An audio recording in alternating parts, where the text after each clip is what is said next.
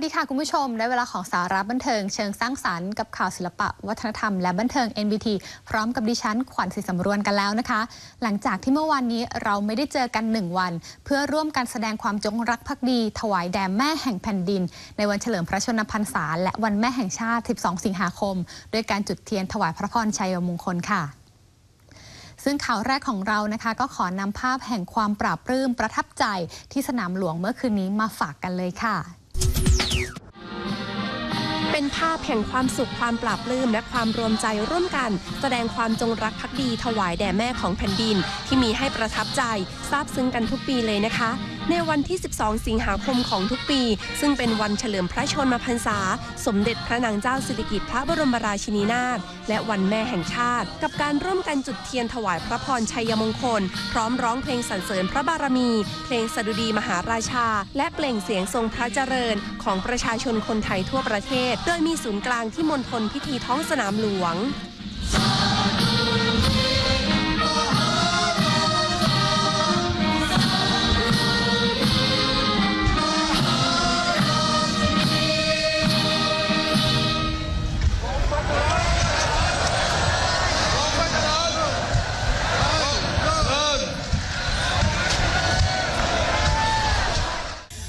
จากนี้ที่สนามหลวงก็ยังมีการแสดงกิจกรรมภาคบันเทิงเฉลิมฉลอง ในโอกาสมหามงคลครั้งนี้ ซึ่งมีทั้งการแสดงเทิดพระเกียรติถวายพระพร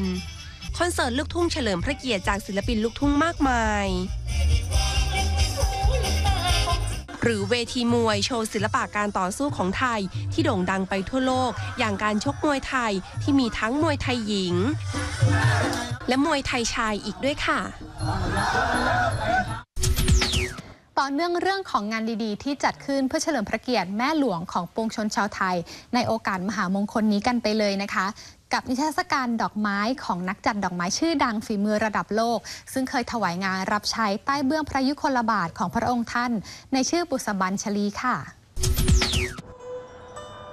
งดงามอบอวลไปด้วยเสน่ห์แห่งสีสันความสวยงามของดอกไม้ และความเป็นไทยที่ผสานกันอย่างลงตัว จนดูวิจิตรเลอค่าเกินบรรยายจริง ๆ นะคะสำหรับงานนิทรรศการดอกไม้พระราชกรณียกิจเทิดพระเกียรติ บุษบัญชลี ฝีมือนักจัดดอกไม้ระดับโลกชาวไทย ผู้เคยถวายงานรับใช้ใต้เบื้องพระยุคลบาท สมเด็จพระนางเจ้าสิริกิติ์พระบรมราชินีนาถสกุลอินทกุล ที่นำผลงานดอกไม้ที่พระองค์ท่าน โปรดเกล้าโปรดกระหม่อมให้สร้างสรรค์ขึ้นในพระราชกรณียกิจต่างๆ อย่างเช่น ประติมากรรมดักแด้ไหมที่ประดิษฐ์จากสุ่มไก่ ปิดตกแต่งด้วยใบบัวหลวง ห้อยใจกันกระบอกไม้ไผ่ปักช่อดอกกล้วยไม้ และสแตนดอกกล้วยไม้ปิดใบบัว ที่ใช้ประดับตกแต่งพระตำหนักภูพานราชนิเวศ ในงานประกวดผ้าไหมภาคตะวันออกเฉียงเหนือ พุทธศักราช 2542 พุ่มดอกไม้ไทยร่วมสมัย ใช้ประดับตกแต่งบนโต๊ะเสวยณพระที่นั่งบรมราชสถิตมโหฬารในงานถวายเลี้ยงพระกระยาหารค่ำแด่พระราชอาคันตุกะ ที่เสด็จมาร่วมงานมหามงคล ฉลองสิริราชสมบัติครบ 60 ปี ที่ผสมผสานความเป็นไทยกับการจัดดอกไม้แบบตะวันตกหรือดอกไม้ไทยร่วมสมัยประดับฝาผนัง และงานเครื่องแขวนร่วมสมัยที่ใช้ตกแต่งในงานเดียวกันเมื่อปี 2549 ต้นกัลปะพฤกษ์ณอ่างแก้วที่ทั้งสวย ดูร่วมสมัย และยังเป็นมงคลอีกด้วย เพราะในตำนานต้นกัลปะพฤกษ์คือต้นไม้สารพัดนึกที่เขาพระสุเมน ซึ่งใช้ตกแต่งในงานพระราชทานเลี้ยงแก่ผู้นำนานาชาติ ที่เข้าร่วมประชุมเอเปกณพระที่นั่งจักรีมหาปราสาทในพระบรมราชวัง ปีพุทธศักราช 2546ชุดดอกไม้สูงประดับโต๊ะอาหาร ในงานพระราชทานเลี้ยงคณะรัฐบาลจีน ที่กรุงปักกิ่งเมื่อปี 2543 และอีกมากมายที่งดงาม ทั้งแนวคิด ฝีมืออันประณีตบรรจง ที่แฝงไปด้วยภูมิปัญญา และเสน่ห์แห่งความเป็นไทยในแนวร่วมสมัย ซึ่งคุณผู้ชมที่สนใจ โดยเฉพาะผู้ที่ชื่นชอบงานจัดดอกไม้ต่างๆ ก็ไปชมกันได้นะคะ ที่ศูนย์การค้าดีเอ็มโพเรียม จนถึงวันอาทิตย์นี้ค่ะ นอกจากงานเฉลิมพระเกียรติในโอกาสมหามงคล และงานเฉลิมฉลองแล้วนะคะ เมื่อคืนนี้ค่ะก็ยังมี 2 สมาชิกนะคะ แห่งวงบอยแบนด์ชื่อดังของเกาหลี Super Junior ที่บินมาจัดคอนเสิร์ตนี้ทิ้งทวนเอาใจเอฟชาวไทยทั้งหลาย ก่อนจะเข้ากรมเป็นทหารรับใช้ชาติ Super Junior D&E Asia Tour 2015 Presents in Bangkok ค่ะ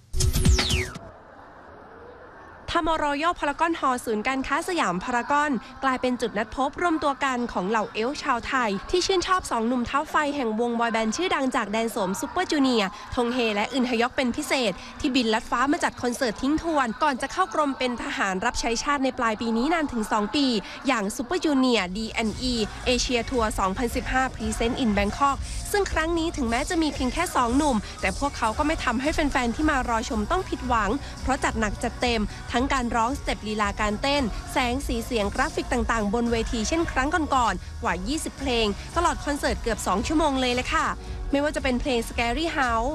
บาริโก Wonderland Still You รวมถึงเพลงใหม่จากอัลบั้มล่าสุดของทั้งคู่ในจังหวะสนุกๆ ให้ได้โชว์สเต็ปกันอย่าง Growing Pains และอีกหลายต่อหลายเพลงที่สำคัญเนื่องในวันมหามงคล 12 สิงหาคมเมื่อวานนี้สองหนุ่มก็ไม่ลืมที่จะนำบทเพลงความหมายดีๆ เกี่ยวกับแม่ อย่างมาเธอ มาร้องให้แฟนคลับได้ฟังกันอีกด้วยค่ะ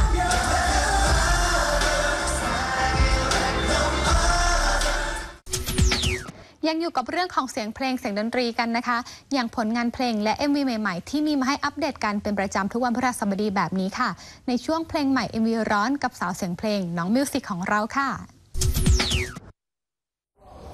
สวัสดีค่ะคุณผู้ชมมิวสิกมารายงานตัวแล้วค่ะ เพลงใหม่ MV ร้อนสัปดาห์นี้นะคะ ดิฉันก็ยังคงมีผลงานเพลงคุณภาพ มาฝากคุณผู้ชมเพียบเช่นเคย ทั้งผลงานของศิลปินอินดี้ในบ้านเรา ไปจนถึงบอยแบนด์ชื่อดังจากต่างประเทศด้วยค่ะ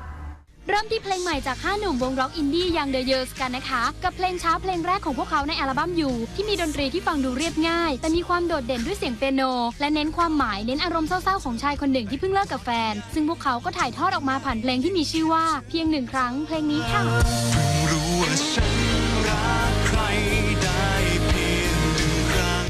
ดท้ายด้วยผลงานของศิลปินต่างประเทศกันบ้างนะคะ กับผลงานใหม่ของ 5 หนุ่มบอยแบนด์ชื่อดังจากเกาะอังกฤษ One Direction เจ้าของรางวัล Billboard Award for Top Group และ Top Touring Artist จากงาน 2015 Billboard Music Awards ที่กลับมาอวดโฉมโชว์น้ำเสียงในเพลงใหม่ ที่ได้รับกระแสตอบรับเป็นอย่างดี ด้วยการครองอันดับหนึ่งหลังจากปล่อยออกมาไม่กี่ชั่วโมง บนชาร์ตไอจูนของหลายประเทศทั่วโลกรวมถึงประเทศไทยด้วย ในเพลงดักมีดาวเพลงนี้ค่ะ เป็นยังไงกันบ้างคะ ถูกใจคอเพลงกันบ้างหรือเปล่าเอ่ย ก็อย่าลืมแนะนำเพลงหรือติชมรายการของเราเข้ามาได้นะคะ ที่ Facebook Fanpage ข่าวศิลปะวัฒนธรรมและบันเทิงสำหรับวันนี้ดิฉันต้องขอตัวไปฟังเพลงต่อแล้วละค่ะ สวัสดีค่ะ มาถึงตอนนี้นะคะ เวลาของสาระบันเทิงเชิงสร้างสรรค์กับข่าวศิลปะวัฒนธรรมและบันเทิงในวันนี้ ก็หมดลงอีกแล้วละค่ะ คงต้องขอตัวลากันไปก่อนนะคะ กลับมาพบกันใหม่ได้ในวันพรุ่งนี้เวลาเดิมดีๆ แบบนี้นะคะสำหรับวันนี้ สวัสดีค่ะ